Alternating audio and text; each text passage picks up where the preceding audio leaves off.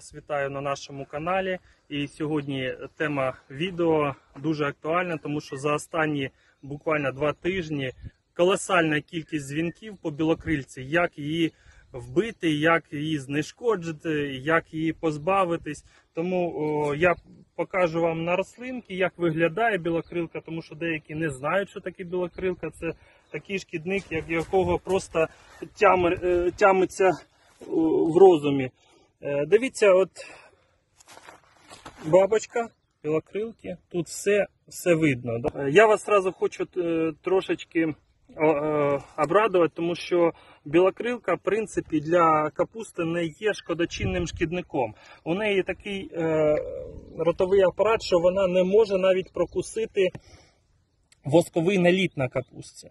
Але вона дуже шкодочинна тим, що вона залишає сажистий грибок, а потім з цього грибка у нас виходить багато хвороб і багато проблем з розвитком.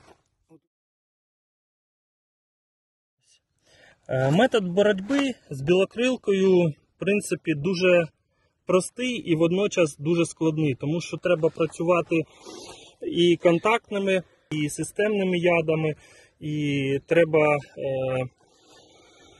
Треба робити це тільки рано вранці після сходження роси. Білокрилки такі е, е, крилишка, такі вразливі до вологи, тому вона в момент, е, в момент роси не може взлітати.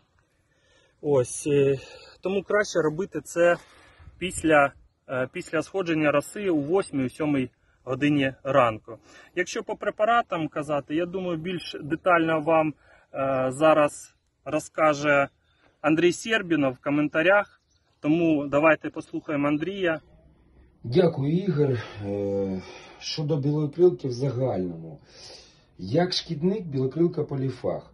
Це говорить про те, що вона може знаходитися та шкодити багатьом видам культур. Враховуючи біологічні особливості шкідника, вирішити питання за рахунок одного препарату просто неможливо. Тому для ефективного захисту проти білокрилки необхідно планувати систему із е, чередування ефективних інсектицидів.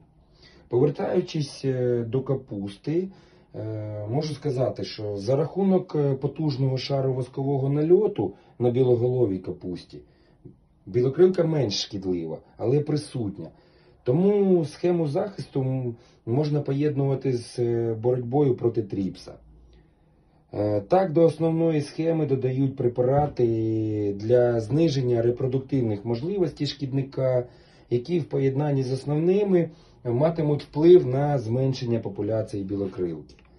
Наприклад, в комбінації Енжіо плюс Аплаут або Енжіо плюс Матч, ем, навіть Актелік плюс Каратезіон дають змогу контролювати розповсюдження шкідника в залежності від умов. З практики за останні роки більш шкідливою білокрилка є для цвітної капусти. Наслідками її життєдіяльності є розповсюдження сашкового грибу та вірусної інфекції на суцвітті, що суттєво знижує товарність та якість готової продукції.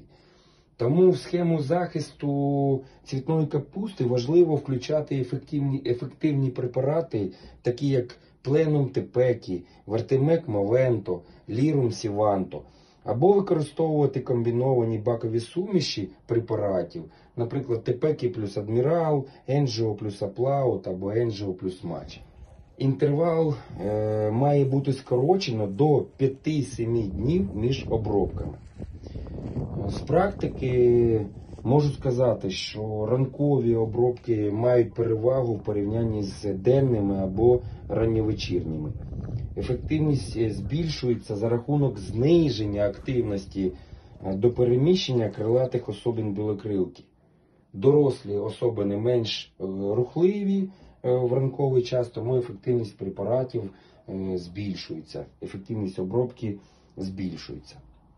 Так, для, в загальному для ефективності захисту рекомендовано і дуже важливо вести своєчасний моніторинг появи та розповсюдження шкідника не тільки на культурі, а й приділяти увагу появи білокрилки на прилеглих культурах та бур'янах.